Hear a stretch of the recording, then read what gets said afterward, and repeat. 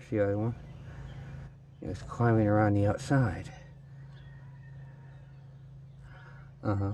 Of course, looking for the female.